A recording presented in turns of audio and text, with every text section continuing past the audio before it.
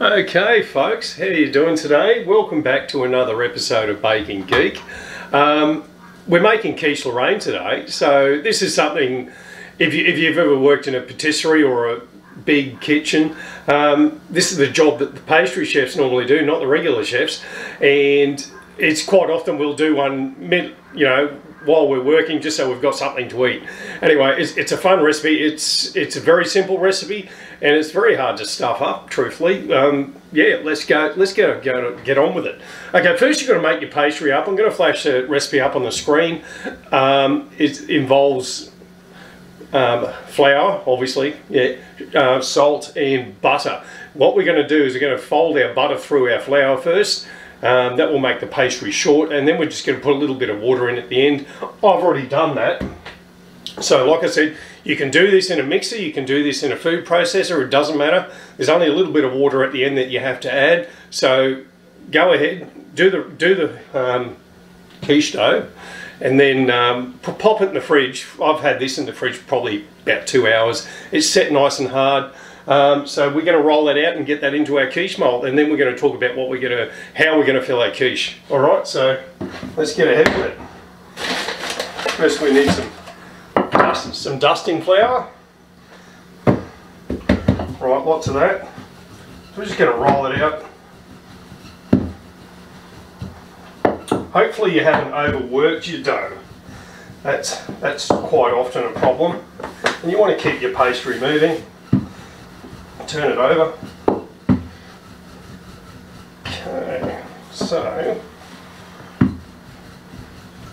you don't want it too thin, you don't want it too thick, you want it sort of just right.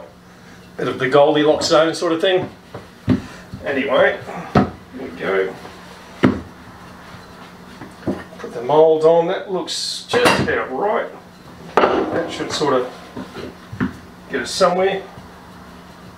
Now, if I had to tell you how thick this was, it'd probably be about three millimeters, something to that effect.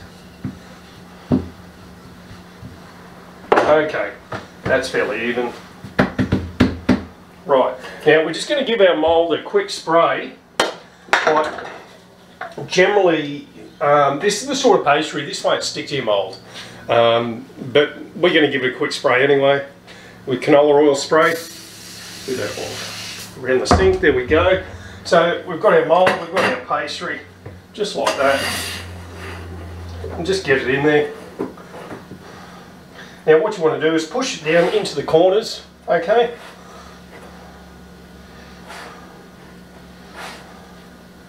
Make sure it's nice and square.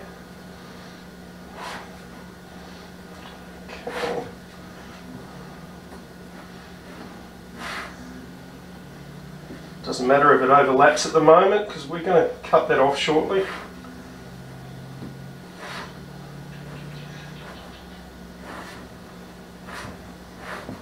Okay, there we go. I think we're in. That looks good. Just get the back of your knife and just run it around your quiche mold or even the sharp end if you like. Just like that. There we go. You've got a bit of pastry left over for next time, or you can do a couple of smaller ones with that. Never throw the pastry out, that's all good stuff. There we go, so our quiche is now lined. Um, let's go get the filling ready. I'll be back in a minute. Okay, we're back folks. I've got the um, quiche lined. Okay, let's just maybe adjust it. No, I'll leave it. Okay, so what we're going to do is we're going to start filling our quiche. Um, we're going to start out with some cheese. So there's a lot of dairy in this. I hope you're not lactose intolerant. Anyway, got some leftover cheese here. Just going to put a nice layer on the bottom.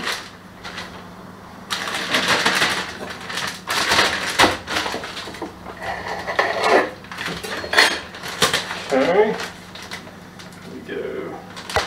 Look, you can, you can if you want to blind bake your quiche, but honestly, I've never done that it doesn't turn out raw or anything silly like that. So anyway, you've got your um, cheese on the bottom of it. Don't be scared, put lots in. Everyone likes cheese. Okay, uh, here it says, right. And I bought some nice bacon, already pieced up.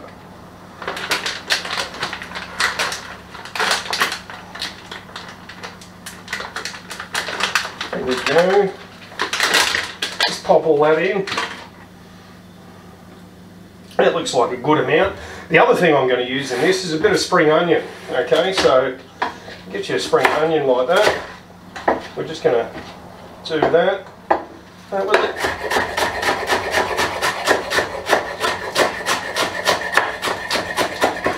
Okay, there we go. Let's get some greenery into it. It's going to add to the colour.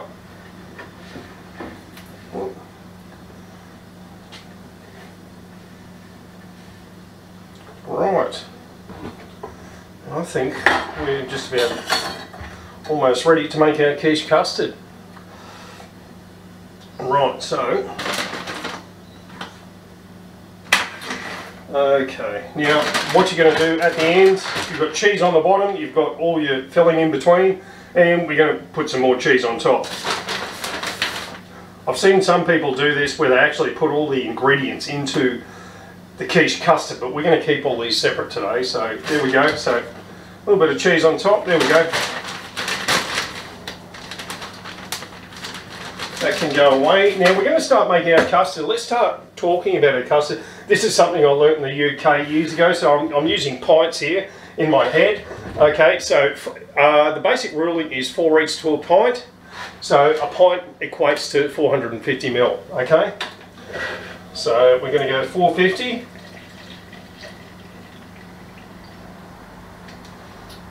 That's about right there. And we're going to, these are four fairly large size eggs. It doesn't, it doesn't matter.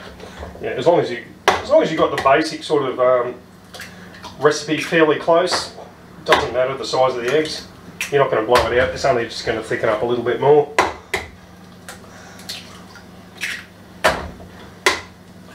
Right, that's our four eggs. The other thing that I do to help this thing along is I put, it's about, it's about 100 grams worth of flour. So this flour will actually help so that's two tablespoons I've put in there.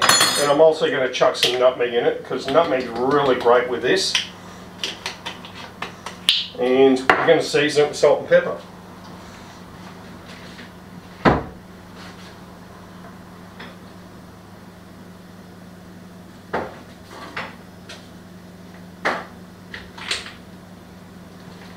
Okay, so I've got some black peppercorn here. and some nice fresh salt. There we go. So just get the whisk into that.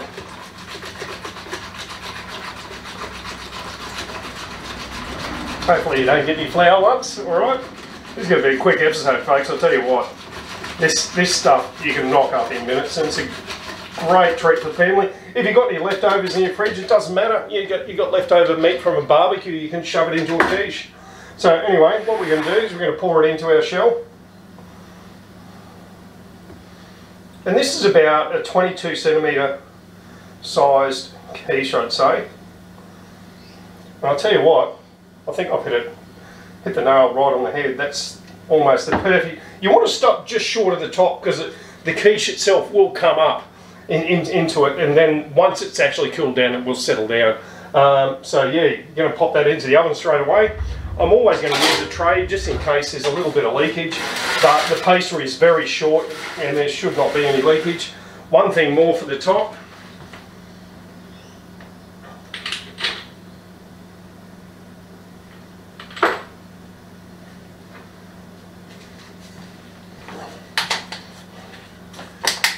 Okay, we've got some paprika, it's always nice. Just give it that colour on the top. Here we go.